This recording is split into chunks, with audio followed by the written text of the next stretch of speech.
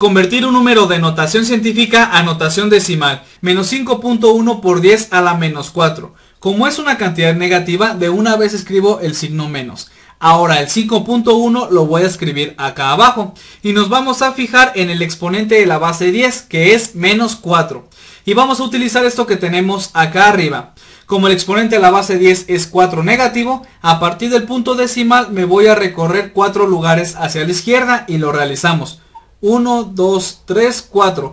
Es decir, el punto decimal se va a trasladar acá y en los espacios en donde no hay número vamos a agregar ceros y lo realizamos. Ahora, esta cantidad la vamos a escribir acá. 0.00051. Entonces, para concluir, menos 5.1 por 10 a la menos 4 en notación decimal es menos 0.00051.